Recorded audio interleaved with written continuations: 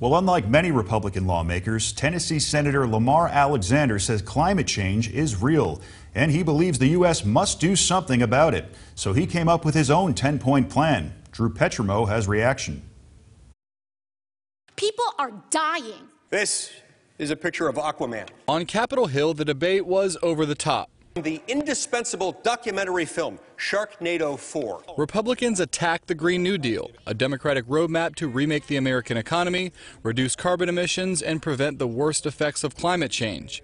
But after much political theater, a resolution supporting the proposal was resoundingly defeated by the U.S. Senate. I thought it presented an opportunity. Republican Senator Lamar Alexander is no fan of the Green New Deal. It's so radical, so far left. But he does believe climate change is a serious problem. Most of the scientists, almost all of them, say humans are a major cause of it. So the question is what to do about it. Alexander is proposing a 10 point plan to address climate change over the next five years. Doubling energy research, building advanced reactors, better batteries, greener buildings, electric cars. The investments that Senator Alexander is talking about certainly should be a part of any comprehensive bipartisan solution. Elizabeth Gore with the Environmental Defense Fund was disappointed by this week's debate, but she's encouraged by Alexander's proposal. We need members of Congress from both sides of the aisle to come to the table to put their best ideas forward. Alexander's plan is much less ambitious than the Green New Deal, but it does contain some similarities.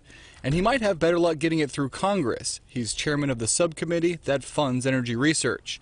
In Washington, I'm Drew Petrimoulx.